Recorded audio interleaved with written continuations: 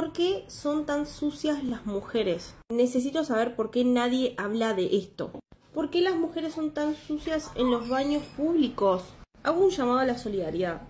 A mí, estando embarazada, hay veces que no aguanto y necesito ir al baño y me encuentro con todo el inodoro lleno de pis y no, no, no les puedo explicar la bronca, el odio que me da tener que limpiar yo las necesidades de otras personas.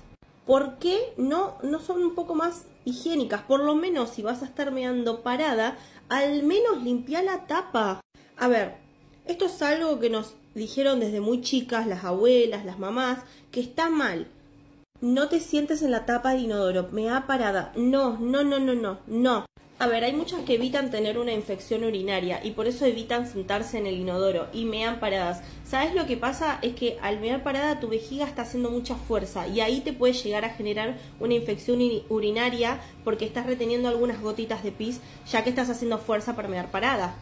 Entonces, no te vas a enfermar porque vos apoyes literalmente los muslos a la tapa del inodoro, porque estás apoyando los muslos, no estás apoyando la vulva si todas las mujeres, todas, absolutamente todas, nos sentáramos como corresponde en el inodoro apoyando eh, las gambitas, todas, no habrían gotitas en el inodoro y no tendríamos la necesidad de tener que mear paradas.